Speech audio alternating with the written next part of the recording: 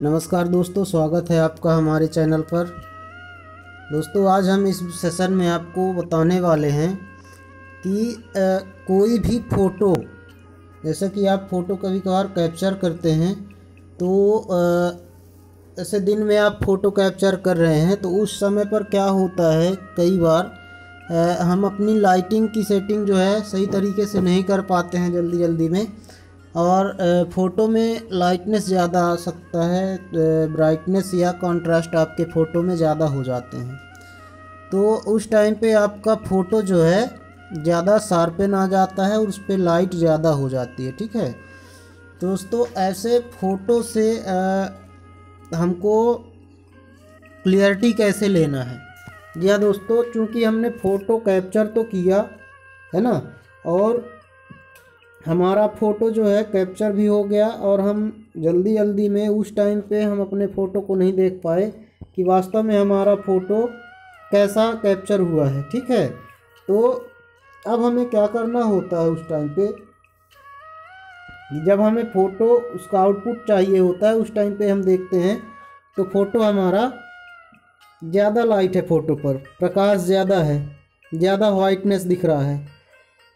अब हमें उस फ़ोटो को एक्चुअल कलर मोड पे लाना है और थोड़ा सा उस पर डार्कनेस लाना है। तो दोस्तों, ये कैसे होगा?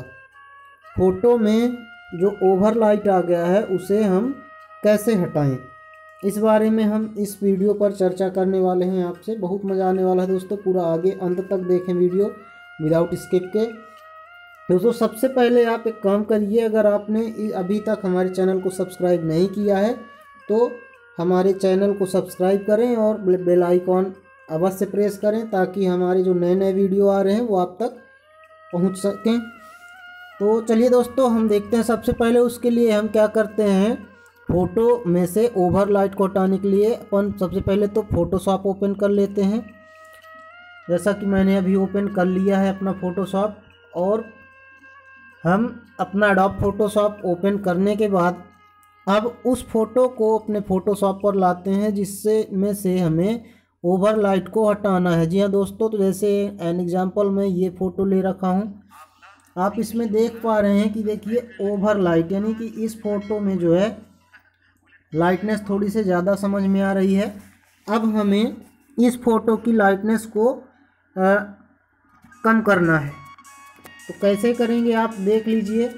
इसके लिए हम क्या करते हैं सबसे पहले तो हमें लेवल्स को लेना है। लेवल्स के लिए आप इमेज में जा कर के एडजस्टमेंट और ये देखिए कंट्रोल प्लस एल से लेवल्स ले सकते हैं। इसको आप ऑटो भी कर सकते हैं, देख पा रहे हैं आप तो उसमें से कुछ परिवर्तन हो रहा है। और या कि फिर ऑटो नहीं भी करना है तो उसके लिए मैं आपको बता दे और दूसरा अपने को कर्व की सेटिंग करनी है। कर्व्स ले लेते हैं। कर्व्स कहाँ से लेंगे दोस्तों? उसके लिए आप यहीं इमेज, मीनू में जाके एडजस्टमेंट सब मीनू में आप देखिए कर्व्स कंट्रोल प्लस एम से कर्व्स कर लेंगे आप, है ना? कर्व्स में से आपको यहाँ पर देखिए चैनल में लिखा हुआ है आर जी बी यानी कि आर जी बी का मतलब होता है रेड रेड ग्रीन और ब्लू तो ये तीनों कलर्स का संयोजन होता है। आर जी बी का आप ओनली वन लाइनिंग में से आप एडजस्टमेंट कर सकते हैं कर्व्स में से, ठीक है? तो आप अप साइड उसको अगर ड्रैग एंड ड्रॉप करेंगे अप साइड पुश करेंगे तो दोस्तों आप देखेंगे कि लाइटनेस बढ़ेगी। और अगर डाउन साइड करेंगे तो लाइटनेस माइनस होगी। आप देख पा रहे हैं, ये देखिए मैं करके दिखाई दे रहा हूँ। ये अपन ऊपर साइड करते हैं तो इसकी लाइटनेस और बढ़ती जा रही है। देख पा रहे हैं आप। ये ज़्यादा सफ़ेद हो रहा है और अपन इसी को अब हम नीचे कर रहे हैं। तो आप देखिए इसकी लाइटनेस जो है कम होती जा रही है। यह दोस्तों, इस पे जो लाइट था, वो कम हो रहा है, आप देख पा रहे हैं। तो आप बहुत अच्छे समझ पा रहे होंगे कि हमें लाइटनेस कैसे कम करना है। बिल्कुल। तो इच्छानुसार जितना हमें चाहिए है, उतना हम अपना कर्व्स की सेटिंग कर लेंगे। कितना ऊपर नीचे हमें चाहिए, ये यहाँ से आप देख पा रहे हैं कि हम इसको जैसे ही ऊपर नीचे कर रहे हैं तो चेंजिंग हो रही है। तो इसके बाद हम अपने इच्छानुसार जितनी लाइटिंग चाहिए, उतना कर्व्स की सेटिंग करने के बाद ओके बटन पर क्लिक कर देते हैं।